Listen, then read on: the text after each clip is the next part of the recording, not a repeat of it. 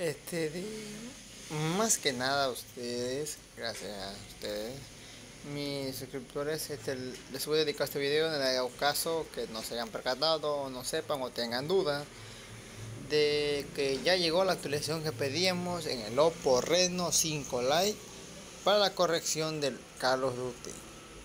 Por ejemplo, ahorita déjenme que cargue, porque la verdad mi internet algo, algo anda lento. Y aquí está. ColorOS 11.1, Android 11 llegó aproximadamente hoy 28 de mayo. Y aquí están las opciones, o más que nada los cambios de esta actualización.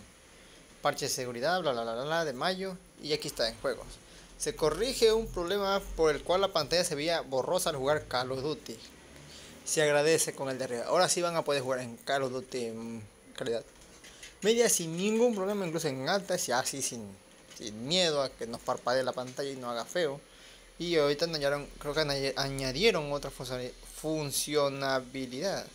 Añade la función de expansión de RAM para mejorar la fluidez del sistema. No sé para qué sirve porque no la he actualizado. Una vez la actualice y lo llegué a checar a ver si me motiva a subirlo. Pero eso es todo.